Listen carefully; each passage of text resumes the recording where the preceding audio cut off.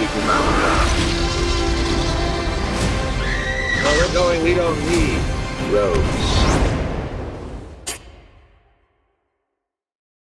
Peter, it's an absolute honor to meet you, sir. Seriously, this is huge for me. I appreciate your time.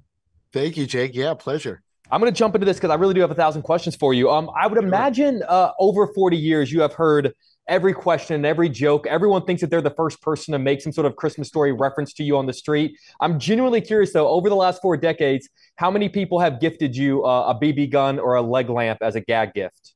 Uh, well, I've gotten, yeah, there's, I mean, this merchandise, you know, has sort of exploded. Nobody expected this movie of all movies to have merchandise. I frequently get the smaller leg lamps. Fortunately, no one's come up to me on the street with a gun, which might be a, which might be a little challenging for them. Um, I have been sent a lot. I'm aware of it. I'm grateful for it. But I do have the original gun from the movie, and so as far as I'm concerned, no gun can really top that one. Oh, that's fantastic. Um, you know, I really do love this idea of Ralphie in a way, sort of becoming the old man for this story. Obviously, we lost the great legendary uh, uh, Darren McGavin a while back. I'm sort of curious, what is what is a question or a piece of advice you wish you could have asked him about coming back to this world, this character, and now sort of being the old man in a way? Well, I was so grateful because during the original, um, Bob Clark, the director, and Darren in particular, you know, Darren had such a resume at that time and was not only such a gifted actor, but such a great person and spent so much time with me. Uh, knew everything about every aspect of the set. If any question came up, if a grip was trying to figure out how to keep a door open, he'd just kind of casually say, oh, just kind of wedge it from the back and sling over the, and they'd say, oh gosh, he's right. Uh, he could solve any problem on the set. He was gracious, and I felt like in those times I was re- really able to get to know him to connect with him. And you're right, you know, I, I think the original very much is kind of coming of age of a young boy.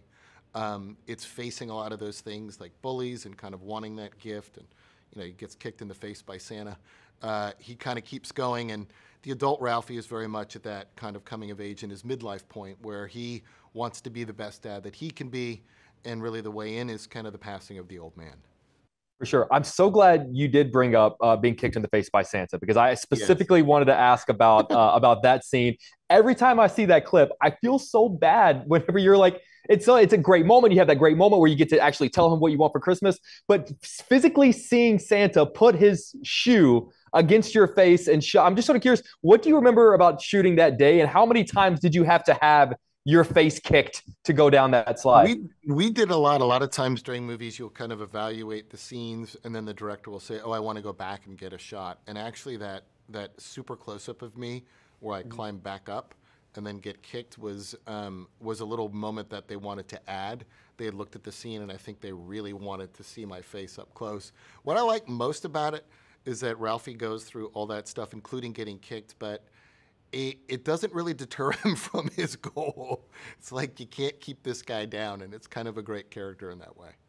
I love that. Uh, I'm going to cut you loose on this. Kevin Bacon uh, once told me a really great story that when he goes to a wedding, he will tip the DJ not to play footloose. He just he doesn't want to deal with it. He's he's heard right. it. He gets it. Are there any aspects of this movie? I know we all love this movie. I know you love this movie, but are there any aspects of it that you try to avoid? Like during Christmas time, do you avoid being in the aisle with BB guns? Do you avoid being within a standing dis- distance of a flagpole? Like, do you have a Kevin Bacon footloose story in that yeah, way? Well, I think it's Target and Walgreens. I mean, the you know the merchandise in this movie is wild that's come out. Mm. So I try not to go into brick and mortar retails because it is strange. The few times I have, some people have looked you know, at a piece of fudge with my face on it, and then to me, and then back to the fudge, and I just kind of slink out of there. Well, I got to tell you, they're giving me the wrap. Uh, I grew up uh, like everyone did on the original, but I got to say, I did not think that this sequel could be as good as it is, but it genuinely is fantastic. It, it, it, it hit me in all the ways that the original did, and I didn't think it could possibly do that. So, congratulations. Thank you for waiting that. long enough just to make it the right way. And uh, congratulations. It was really an honor to meet you. We're going to have you in studio in a couple of weeks, and I'm so honored. Oh, Everyone's great. so excited for you to come in. Awesome. Looking right, forward care. to it. All right, Thank take you. care, sir. Have a good day.